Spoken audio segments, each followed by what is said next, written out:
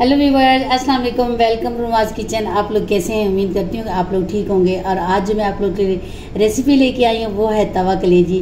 तो चलिए फिर बनाना स्टार्ट करते हैं।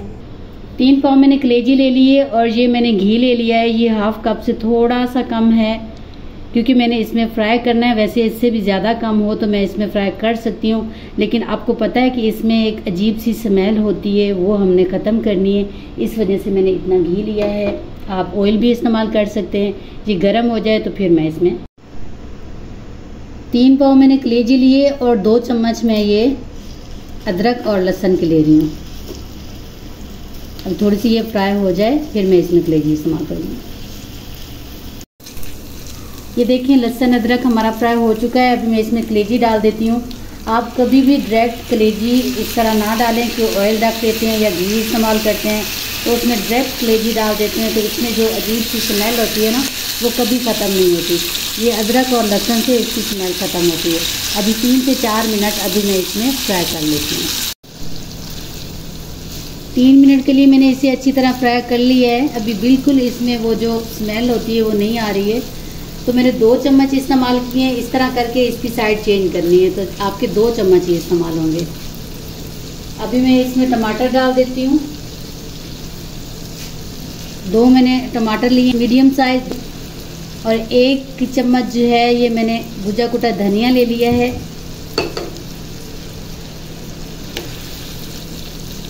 इसे अच्छी तरह मिक्स कर लेते हैं।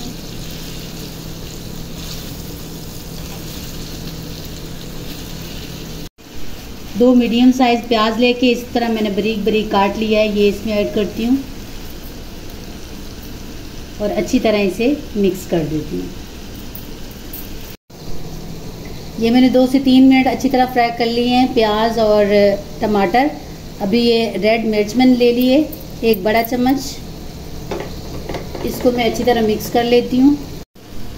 रेड मिर्च को मैंने अच्छी तरह मिक्स कर लिया है, अभी मैं इसे 10 मिनट के लिए ढाँप देती हूँ। और चूल्हे की फ्लेम मैंने शुरू से ही मीडियम लो रखी हुई है।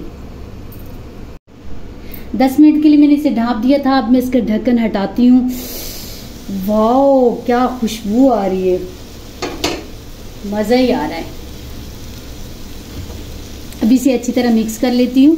दस मिनट के लिए मैं फिर ढाँप दूँगी इसे। इसी में मैं इसे तैयार करूँगी ताकि ये सख्त ना बने, ये नरम बने। बहुत सॉफ्ट बनती है ये। मैं इसे अच्छी तरह मिक्स कर लेती हूँ।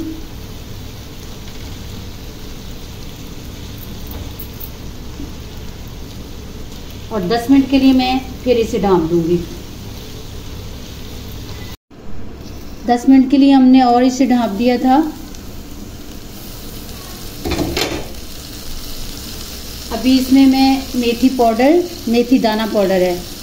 आप वैसे खुश्क मेथी डालना चाहें तो वो भी डाल सकते हैं और एक चम्मच गरम मसाला। इनको मैंने मिक्स कर लिया अभी अच्छी तरह ये मसाले मिक्स कर लेती हूँ।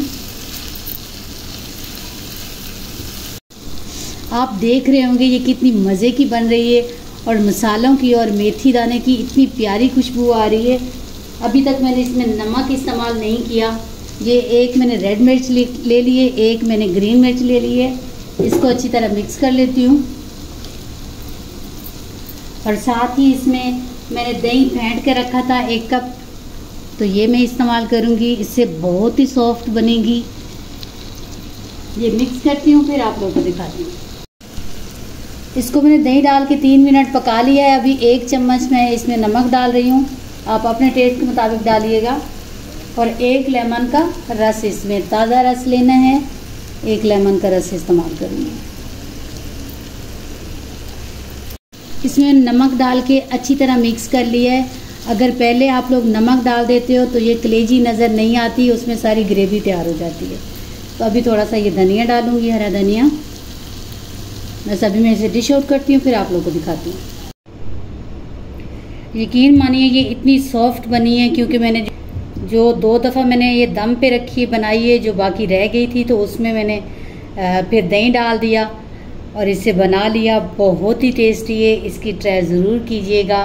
अगर ये वीडियो तवा कलेजी की आप लोगों को अच्छी लगे तो इसे लाइक करें शेयर करें, हमारा चैनल सब्सक्राइब करें और बेल आइकन को ज़रूर प्रेस किया करें कि हमारी हर नई आने वाली वीडियो आप तक सबसे पहले पहुँच सके।